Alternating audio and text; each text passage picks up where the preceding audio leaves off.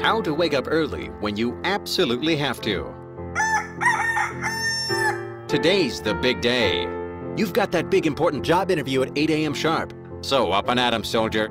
Time to seize the day. I said up and at 'em. Wake up, you lazy Run! You will need several alarm clocks with the loudest, shrillest, most annoying alarms you can find, a friend who's already awake at the hour you need to be, and a little willpower. Step 1. The evening before the big day, figure out exactly what time you need to be up in the morning. Work backwards from the time of your appointment, factoring in how long you'll need to shower, have breakfast, and so on. Subtract the total amount of time from your appointment time.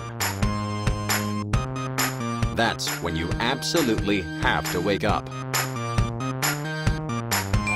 Don't pad your times. If you do, you'll know you have extra time built in and you won't take your wake-up time seriously. Step 2. The night before the event, make whatever preparations you can to save yourself some time the next morning.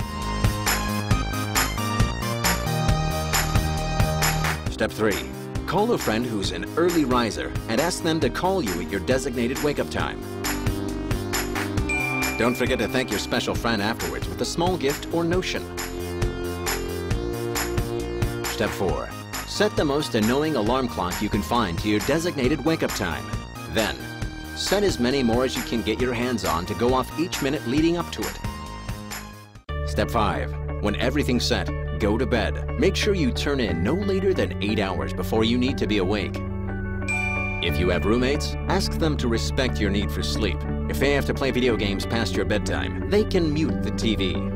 Step 6. Pick a good sleeping position. Sleep experts recommend sleeping on your side and advise against sleeping on your stomach. Step 7. When the first alarm sounds, get up immediately.